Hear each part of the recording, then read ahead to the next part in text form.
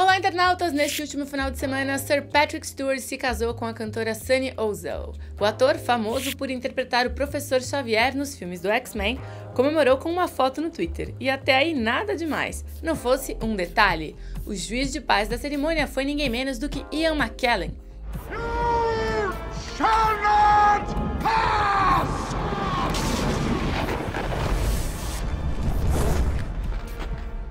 Ter o Magneto ou o Gandalf do Senhor dos Anéis na sua cerimônia é praticamente imbatível. Dinheiro nenhum compra isso, mas compra outras coisas. Separamos seis casamentos dos poderosos do mundo tecnológico que provam que os nerds também amam e se casam em grande estilo.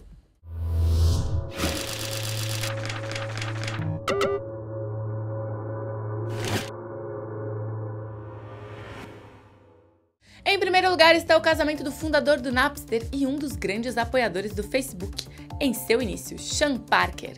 Ele fez suas juras eternas com Alexandra Lenas no início do ano, em uma cerimônia com cara meio medieval, meio élfica, realizada em uma floresta na Califórnia, a um custo estimado de 4,5 milhões de dólares.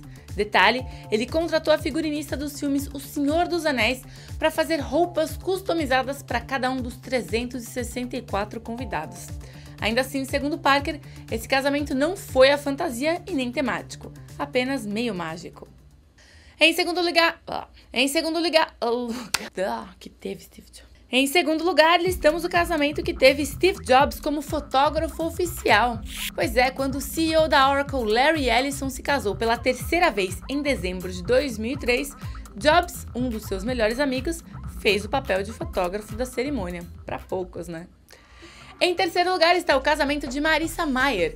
A atual CEO do Yahoo e ex-vice-presidente do Google fez uma festa que durou não apenas um, mas três dias. Na sexta, os convidados tiveram um show particular da banda The Killers, só para começar. No sábado, a cerimônia em si, seguida de fogos de artifício e uma festa que se repetiu no domingo. Well,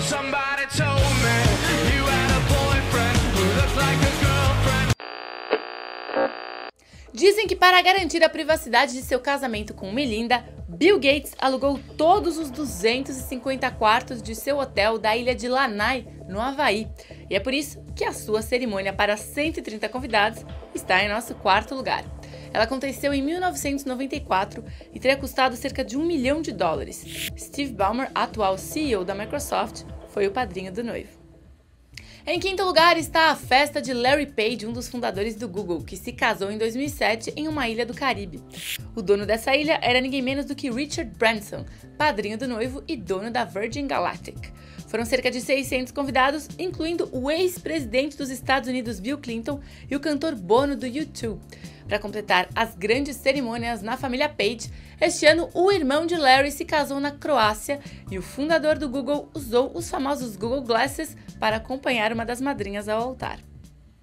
Outro cofundador do Google, Sergey Brin, encerra a nossa lista. Ele se casou também em 2007 em uma cerimônia nas Bahamas. O que chamou a atenção dos tabloides na época seria um enorme anel dourado com pedras que ele estaria usando como aliança. O casamento de Brin, no entanto, terminou há poucas semanas. Ele anunciou o divórcio no mesmo dia em que o vice-presidente do Google, o brasileiro Hugo Barra, anunciou sua saída da empresa. Dessa vez, os tabloides especulam que ambos se envolveram com uma mesma colega de trabalho. Mas esse tipo de escândalo já é assunto para um outro vídeo. Até a próxima, tchau!